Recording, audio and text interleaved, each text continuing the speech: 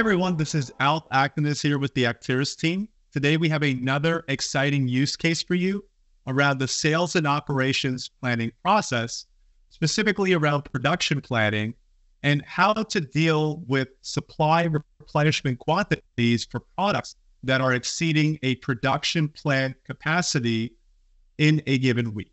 Now, before getting into the use case, let's talk about a typical challenge that many companies face when going through a production planning process. After the demand plan process has been submitted for the production planning process, typically what the production planning team is looking for is to see that all the quantities that are in demand for certain products can be met by the production plants where they're produced based on the capacity that can be utilized within the plant itself. And typically, it might not be easy to be able to spot out where there are situations where quantity cannot be fulfilled based on a production plant's capacity being exceeded. So with Acterys, we're going to show you how easy it is to be able to identify which week has a capacity issue, which product has a capacity issue, and which region has a capacity issue. We can see right here on our page right here, the rough cut capacity planning page, is that we have an alert right now showcasing that our production capacity is being exceeded for certain products. And if we look at the bottom right here, we can see in conditional formatting which weeks where we're having these issues. We can also see in the top right corner each of our products, as well as the given week, the production plan, as well as the region where this issue is happening.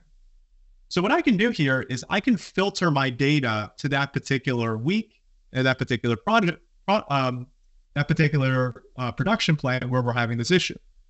I'm going to go ahead and I'm going to type in G5 in order to bring back my product where I'm having this issue. I'm going to go ahead and select G5 right here. And now what's going to happen is our data is going to filter down to show us where our production plan is having an issue. So we can see right here that for this particular production plan, we have a capacity of 500, yet the supply replenishment is showing 6,000.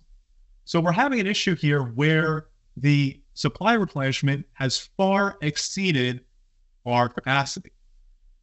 However, we can see that we have other production plants online that we can move that quantity to. So we know that we're going to need to have a 6,000 supply replenishment. However, we can't meet that particular replenishment. So we're going to need to spread out that quantity to other production plants over different weeks. So what we can do here is hitting the edit button. We can use the multi-select feature to be able to edit individual weeks and move that supply replenishment to.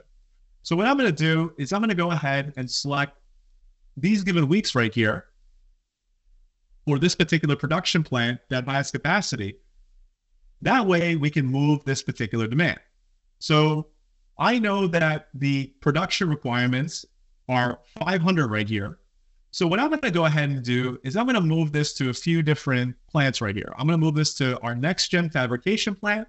So I'm going to do five different entries right here, and we're going to move that um, amount of roughly 400 right here. So I'm going to do 400 here for five, 400 here for five. That's going to bring us to 2000. And then 400 here for these four. And then I'm going to change my original supply replenishment to 400 here.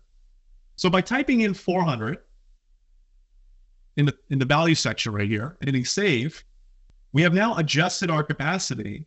And now what I can do here is I can move this particular number from 6,000 to 500 due to the fact that I just moved that quantity out to different areas.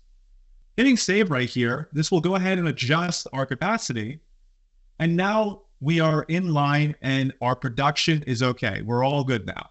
We have now met our production capacity and we're no longer having an issue with this particular prop in this particular week. And now we can move on to the next week to make further adjustments and continue that process.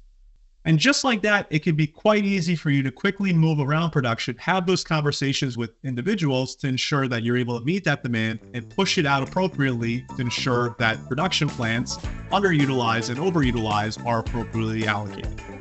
Thank you in advance. I hope you enjoyed this use case. And this is Alp Akdeniz signing out.